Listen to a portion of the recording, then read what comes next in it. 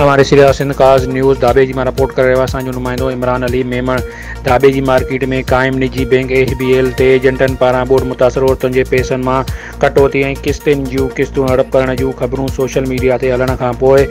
S O दाबोए जी फौरी notice वरितो आहे। मुतासिर औरतुनि वटि पहुची करे पैसा वापसि ॾियारण जी ख़ातिरी कराई। उन मौक़े ते मुतासिर औरतुनि ॿुधायो त गुज़िरियल राति देरि सां कुझु